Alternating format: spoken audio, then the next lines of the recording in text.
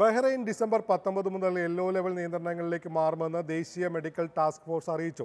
ജനങ്ങളുടെ ആരോഗ്യവും സുരക്ഷയും സംരക്ഷിക്കുന്നതിനാണ് ഈ മുൻകരുതൽ നടപടി. അടുത്ത വർഷം ജനുവരി മുപ്പത്തൊന്ന് വരെ ഇത് തുടരും. ബഹ്റൈൻ ഡിസംബർ പത്തൊൻപത് മുതൽ രണ്ടായിരത്തി ഇരുപത്തിരണ്ട് ജനുവരി മുപ്പത്തിയൊന്ന് വരെ യെല്ലോ ലെവൽ നിയന്ത്രണങ്ങളിലേക്ക് മാറുമെന്ന് പ്രഖ്യാപിച്ചു. രാജ്യത്തെ ജനങ്ങളുടെ ആരോഗ്യവും സുരക്ഷയും സംരക്ഷിക്കുന്നതിനാണ് ഈ മുൻകരുതൽ നടപടി സ്വീകരിക്കുന്നതെന്ന് കൊറോണ വൈറസിനെ പ്രതിരോധിക്കുന്നതിനുള്ള ദേശീയ മെഡിക്കൽ ടാസ്ക് ഫോഴ്സ് വ്യക്തമാക്കി. കോവിഡ് വൈറസിന്റെ പുതിയ വകഭേദമായ ഒമിക്രോൺ ആഗോളതലത്തിൽ പിടിമുറുക്കുന്ന സാഹചര്യത്തിലാണ് തീരുമാനം. ബഹ്റൈനിൽ ഇതുവരെ ഒരാളിൽ മാത്രമാണ് ഒമിക്രോൺ രേഖപ്പെടുത്തിയിട്ടുള്ളത്.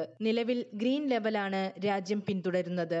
കോവിഡ് പ്രതിരോധത്തിന്റെ ഭാഗമായി വാക്സിനും ബൂസ്റ്റർ ഡോസും സ്വീകരിക്കാൻ എല്ലാവരും സന്നദ്ധരാകണമെന്നും ദേശീയ മെഡിക്കൽ സമിതി അറിയിച്ചു. യെല്ലോ ലെവലിൽ എല്ലായ്പ്പോഴും മാസ്കുകൾ ധരിക്കേണ്ടതാണ്. യെല്ലോ ലെവൽ പ്രകാരം ഷോപ്പുകളിലും ഷോപ്പിംഗ് മാളുകളിലും പ്രവേശിക്കുന്നതിന് കോവിഡ് വാക്സിനേഷൻ എടുത്തവരും കോവിഡ് മുക്തി നേടിയ വ്യക്തികളും ബിവെയർ ആപ്ലിക്കേഷനിൽ അവരുടെ പച്ച ഷീൽഡ് കാണിക്കണം. ഈ രണ്ട് വിഭാഗത്തിൽപ്പെട്ടവർക്കൊപ്പം എത്തുന്ന പന്ത്രണ്ട് വയസ്സിൽ താഴെയുള്ളവർക്കും പ്രവേശനം അനുവദിക്കും. റെസ്റ്റോറന്റുകൾ കഫേകൾ സ്പോർട്സ് സെന്ററുകൾ ജിംനേഷ്യം നീന്തൽക്കുളങ്ങൾ അമ്യൂസ്മെന്റ് പാർക്ക് ഇവന്റുകൾ കോൺഫറൻസുകൾ സിനിമ എന്നിവയിലും പ്രവേശനം അനുവദിക്കും.